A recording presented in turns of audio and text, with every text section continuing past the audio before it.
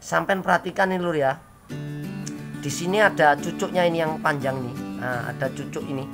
Nah ini lur. Ini ada cucuknya yang panjang. Terus di bawah ini ada cucuknya yang runcing kecil ini yang lebih kecil ini. Ini cucuk sini sama cucuk sini nih lur. Sama yang di buntutnya juga ada cucuknya ini lur. Assalamualaikum warahmatullahi wabarakatuh. Berjumpa lagi saudara-saudaraku di channelnya Kaligrafi Kabul semoga di sana sampai sehat selalu dimudahkan rezekinya lancar aktivitasnya berkah barokah amin.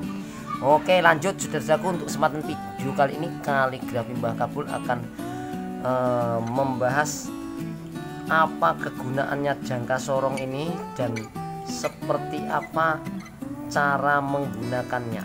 Nah sepengalaman saya nih saudara-saudaraku jangka sorong ini ada tiga macam fungsi. Seperti apakah fungsinya? Nanti akan saya jelaskan di video ini. Ikuti terus videonya dari kaligrafi mbak kabul itu. Oke? Ini ada tiga fungsinya ini loh sebelumnya saya sedikit saya jelaskan untuk uh, masalah jangka sorong ini sendiri. Jadi jangka sorong ini saudara-saudaraku ini biasanya itu jarang digunakan di rumahan-rumahan lah. Kalau di rumahan-rumahan ini jarang yang menggunakan.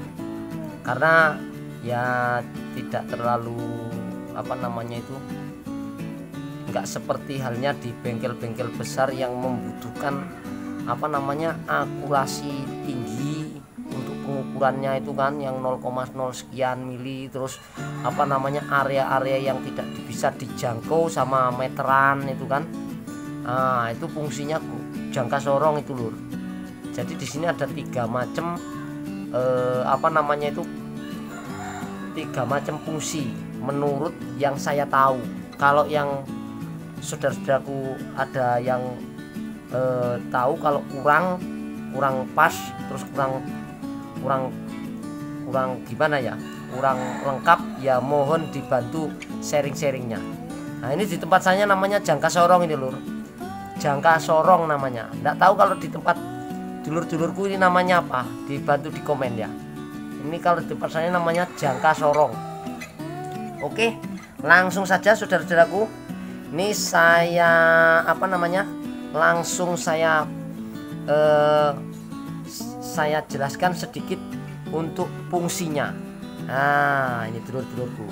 Sampai perhatikan ini dulu ya untuk saudara-saudaraku yang pengen beli jangka sorong apa yang belum belum belum punya jangka sorong. Murah ini lur harganya lur. Kalau ini ada yang digital juga ini lur. Nah sedikit info ini. Ada yang digital yang langsung keluar angkanya. Jadi sampai begitu sampai aplikasikan nggak usah dilihat-lihat inceng-inceng nggak usah. Langsung cret keluar angkanya itu. Itu ada juga cuman harganya agak lumayan mahal kalau yang itu. Kalau yang ini murce ini lur. Ini punya murce cuman berapa puluh ribu ini saya beli nggak nyampe 100 ini nggak nyampe 100 ribu. Yang puluh ewa nih lupa juga saya beli. Oke sampai perhatikan ini lur ya. Di sini ada cucuknya ini yang panjang nih. Nah ada cucuk ini. Nah ini lur. Ini ada cucuknya yang panjang. Terus di bawah ini ada cucuknya yang runcing kecil ini yang lebih kecil ini. Ini cucuk sini sama cucuk sini nih lur. Sama yang di buntutnya juga ada cucuknya ini lur. Saya balik ya lo ini lur. Ah, ah saya dekatkan ini. Nah itu itu bisa molor itu lur. Cus lo ah itu dulur-dulurku. Ini ada fungsinya masing-masing. Oke langsung saja ini lur. Tak saya ada di sini. Nah saya coba aplikasikan di sini lur ya. Saya pengen apa namanya ngukur berapa lingkarannya ini. Lingkaran yang bagian luar ini ini kita menggunakan cucuk yang besar. Jadi gunanya cucuk yang besar ini untuk ngukur yang bagian di luar-luar ini lur. Nah, jadi sampai ndak usah nganggu meteran lur. Piye ben ketok. Ah ben ketok ongko nih jelas. Nah saya nah tak balik ini lur. Nah seret. Sampai gampetkan ke sini. Nah sampai gampetkan ke sini terus sampai jelek ke sini. Cerk nah patokannya yang depan ini lur ya. Patokannya yang depan. Nah yang depan ininya ini. Jangan yang belakang yang belakang ada dekok. Kalau sampai medianya kecil tuh nah patokan yang depan. Nah sampean gampetkan ke sini. Ini kalau sudah rata ini lur tinggal sampean lihat. Tuh berapa senti. Ini bisa dikencengi nih lur. Kencengi. Nah seret. Tuh sampai tinggal lihat di sini berapa senti sekian mili itu kelihatan kalau sudah di sini. Nah ini fungsi yang cucuk besar tadi. Oke untuk mengukur diameter bagian luar. Pokoknya untuk ukur yang di luar-luar loh.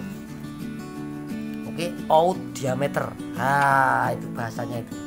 Nah kalau untuk yang cucuk kecil ini cucuk yang kecil atasnya ini nah cucuk kecil yang ini ini untuk mengukur yang bagian dalam nah sampai mau mengukur yang dalamnya ini.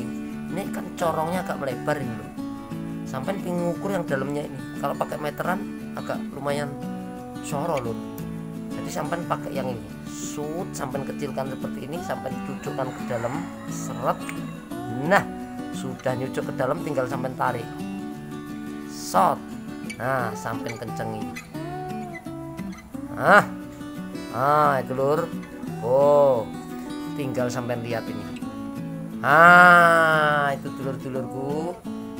Jadi pengen ngukur dalam luar pakai ini. Nah tak lepas dulu. Nah sudah tak lepas. Kita lepas dulu. Sekarang fungsi yang ini dulur-dulurku. Yang nomor tiga ini. Ini fungsi yang nomor tiga ini untuk mengukur kedalaman lubang yang di bagian dalam ini cuman sampai mau ngukur apa dalamnya dalam lubang baut. Sampai pengen beli baut bautnya sampai patah. Baut motor apa baut apa patah. Baut itu ini biru lah yo? Sedangkan bautnya perukulan itu nggak ono. Tinggal apa jenenge? Dicucuk pakai ini. Sampai taruh di bagian luarnya ini. Nah di bagian luarnya ini kedalamannya langsung dijojokkan. Nah ini atasnya dijojokkan ke bawah sini. Set letak eh keduren Loh. nah kalau sudah ngepres lur kalau sudah ngepres tinggal sampai kencengnya atasnya ini. Nah sudah ngepres tinggal dikencengi celak. Nah oh berarti di sini kan panjangnya segini. Lah di sini sudah ada ukurannya lur. Oh itu lur. Kita bisa mengukur kedalaman nggak usah pakai meteran. Tinggal dicucuk pakai ini aja ya itu. Kira-kira seperti itu dulu bu. Sedikit apa namanya eh, dari kaligrafi bakabul untuk cara dan apa namanya cara menggunakan jangka sorong terus fungsinya jangka sorong ini sendiri. Nah itu lur.